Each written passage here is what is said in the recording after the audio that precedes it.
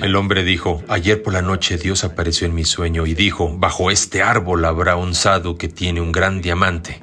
El sadu dijo, oh, ese diamante. Entonces fue con el sadu. Debes tener algo dentro de ti mucho más valioso que esto. ¿Qué es eso?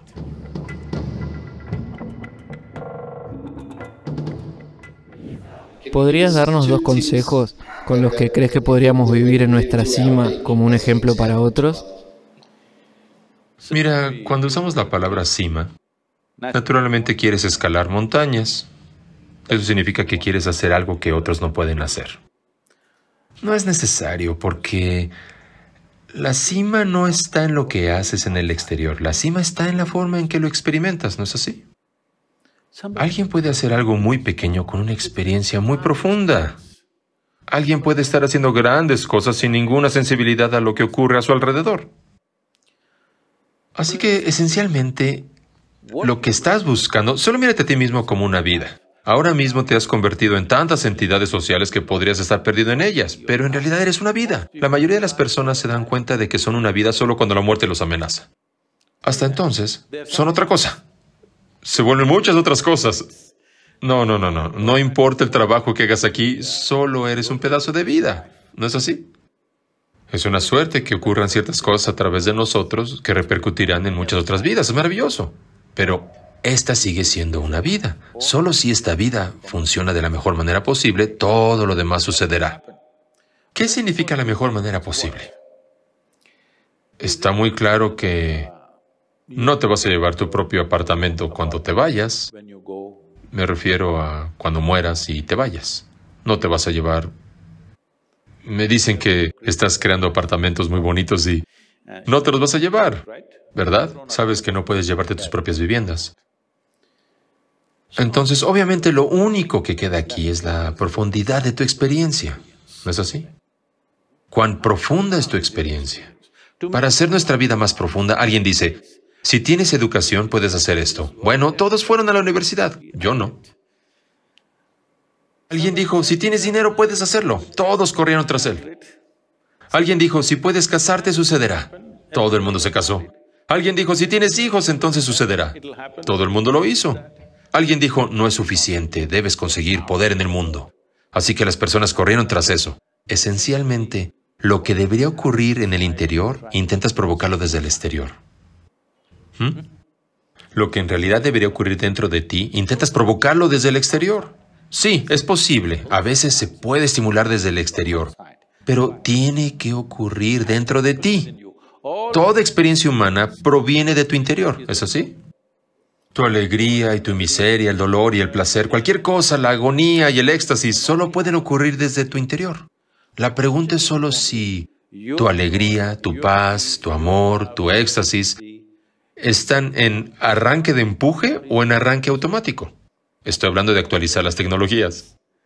Hubo una época en los 50 en que si comprabas un coche, necesitabas que dos personas te ayudaran por la mañana porque era de arranque de empuje.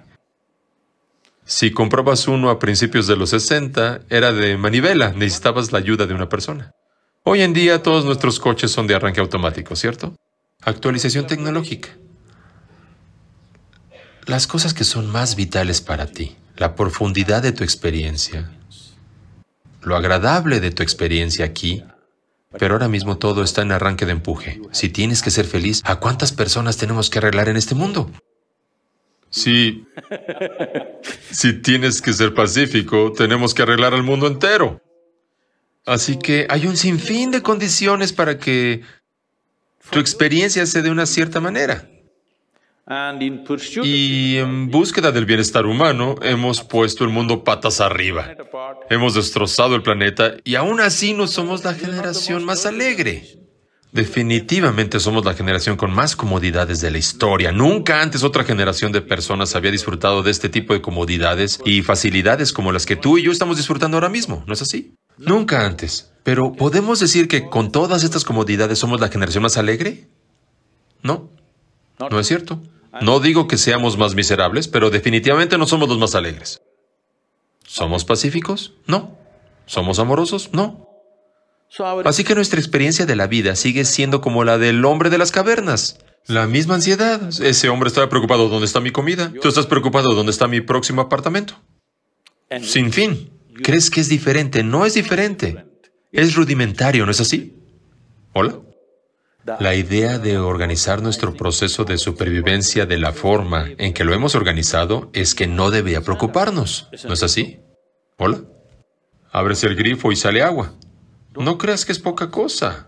Hace solo 100 años había que ir al río por agua con un jarro en la cabeza. Entonces, todas estas comodidades que logramos hoy, ¿para qué? Porque no tenemos que preocuparnos de la supervivencia diaria. Todo está organizado. Ahora, creíamos que si todas esas cosas se organizaban, nos sentaríamos aquí estaciados. Bueno, eso no ha ocurrido. No ha ocurrido simplemente porque no nos hemos hecho cargo de este. Entonces, la cima de la vida humana no significa que hayas escalado el Everest. Yo he subido el Everest, ¿lo sabías? Oh, no lo sabías. Sí, hasta la cima. Alguien subió y se hizo una fotografía con mi foto en la mano. Así que creo que he estado allí. Más sensato también. Porque este tipo que fue y se hizo una foto con mi foto en las manos, bajó y dijo, Sadhguru, de las 12 personas que empezamos, solo dos de nosotros llegamos a la cima. Y yo me hice la foto y bajé. Estuvimos allí unos 40 segundos, justo en la cima. Como los vientos arreciaban, tuvimos que bajar. Solo 40 segundos. Miré a mi alrededor, no podía ver nada y bajé. Ahora me pregunto, ¿por qué lo hice? Porque querías conocer la cima del sufrimiento. No es un simple reto físico. Escalar el Everest no es un simple reto físico. No digo que no debas escalarlo. Lo único que digo es que la cima solo puede suceder dentro de ti. No va a ocurrir fuera de ti. Así que la cima y el valle y el fondo mismo solo pueden ocurrir dentro de ti. La gente puede sentarse en un palacio y deprimirse. Como si tocaran fondo en su vida, ¿no es así? ¿Hola? Así que del mismo modo, si eso es posible, puedes sentarte en la calle y estar en la cima. ¿Puedo contarte una pequeña historia? Había una vez un sadhu. Un sadhu significa un mendigo. En la India tenemos gente espiritual a tiempo completo, ¿de acuerdo? En ningún otro lugar del mundo creo, muy pocos, pero aquí tenemos muchos. Entonces el sadhu se disponía a pasar la noche bajo un árbol a las afueras de un pequeño pueblo. Al atardecer, llegó otro hombre, vio a este sadhu y le dijo, ¿Dónde está el diamante? ¿Dónde está el diamante? Dame el diamante. El sadhu lo miró y preguntó, ¿qué diamante? El hombre dijo, ayer por la noche Dios apareció en mi sueño y dijo, bajo este árbol habrá un sadhu que tiene un gran diamante. Si se lo pido, ¿me lo dará? El sadhu dijo, ¡Oh, ese diamante! Y metió la mano en la bolsa y sacó un diamante del tamaño del cráneo de un hombre. Así de grande. Y se lo dio. Este tipo se lo llevó, lo escondió en su ropa y corrió a casa. Mientras volvía a casa se debatía a quién decírselo, a quién no decírselo, qué pasará si alguien se enterara, lo matarían y se llevarían el diamante. Estaba en pánico para cuando llegó. Fue allí, Miró a su mujer. Dios mío, ella no sabe guardar un secreto. No puedes decirle. Así que fue directamente a la cama, lo puso debajo de la almohada y durmió sobre él. Entonces vino su mujer y le dijo, ¿por qué te acuestas? Ven a cenar. Dijo, no, no, no tengo hambre. Porque no quería dejar el diamante ni un momento. Y ella pensó, no se encuentra bien y se fue. Pero no pudo dormir en toda la noche. Por un lado, le preocupaba cómo lidiar con ese diamante y por otro, con una piedra tan grande bajo la almohada no puedes dormir. Se pasó toda la noche debatiéndose qué hacer, qué hacer, qué hacer. A las 4 de la mañana estaba completamente enloquecido. Luego fue a ver al Sado. Le dijo, ayer vine y te pedí este diamante sin siquiera saber mi identidad. Simplemente me diste un diamante tan grande. Ofreciste lo más caro del planeta. Simplemente lo regalaste. Si tienes que regalar un diamante como este, Debes tener algo dentro de ti que es mucho más valioso que esto. ¿Qué es eso? El sado dijo, oh, has entrado en razón. Tira la maldita piedra y ven a sentarte aquí, ya veremos.